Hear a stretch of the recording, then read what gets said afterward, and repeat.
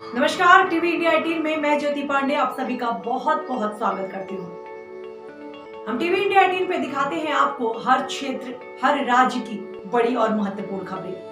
तो हमारे TV India 18 की खबरों को इसी तरह लगातार देखने के लिए हमारे चैनल को सब्सक्राइब करना, खबरों को लाइक करना और शेयर करना बिल्कुल ना भूलें।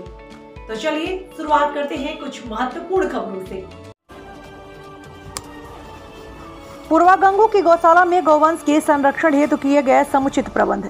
गौशाला में गौवंशों को दिया जा रहा है भरपेट चारा, पानी, चारों ओर दिखाई दी सफ़ाई। ग्राम प्रधान और सेवादार कर रहे हैं नित्य गौवंशों की सेवा। विकासखंड भाग्यनगर की ग्राम पंचायत तरई की मजरा पूर्वा गंगू में ज़िले की सबसे बड़ी गौशाला स्थित है, जिसमें गौवंश के संरक्षण हेतु दाना, चारा, पानी, छाया, साफ़ सफ़ाई सहित सभी समुचित प्रबंध किए गए हैं। ग्राम प्रधान व जिला प्रशासन द्वारा गौवंशों की देखरेख में सात सेवादारों की नियुक्ति की गई जिसे वह भली भांति निभा रहे हैं।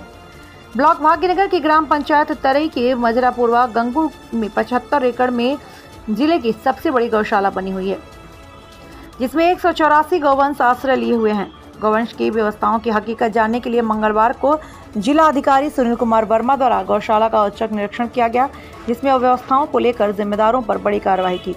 ग्राम प्रधान व गौवंश की सेवा में लगे सेवादारों को गौशाला में व्यवस्थाओं को सुदृढ़ बनाने के लिए हिदायत दी। ग्राम प्रधान ने गौवंश के संरक्षण हेतु दाना, चारा, पानी, छाया साफ़ सफ़ाई का समुचित प्रबंध किया।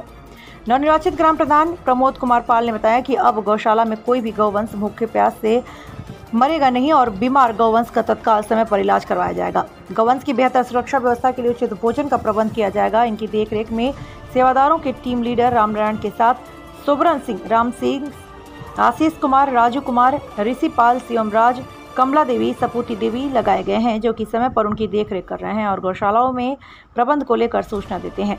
ब्यूरो चीफ बिमल कुमार पांडे की रिपोर्ट। तो मैं हम जनपद की सबसे बड़ी गौशाला पूर्वा गंगू में हूँ। यहाँ पर नव निर्वाचित प्रधान जी से कुछ पूछना चाहते हैं हम। प्रधान जी आपके यहाँ कितनी गायें हैं? एक सौ चौरासी। एक सौ चौरासी। यहाँ सेवादार कितने रहते हैं? आठ हैं फ़िलहाल में। फ़िलहाल में आठ है। तो यहाँ पे गायों के लिए क्या व्यवस्था है आपके यहाँ? चोकर खिलाते हैं सानी कराते हैं। पानी वाली से रही है? हम्म।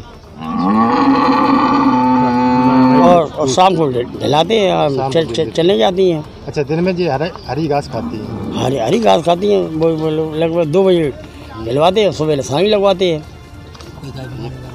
डॉक्टर डॉक्टर आता है हाँ यहाँ? डॉक्टर कल भी आई थी। कल आई थी? कल आई थी।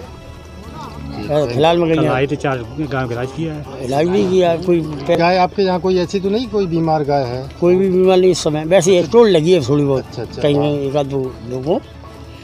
तीन चार गाय वैसे है कुछ।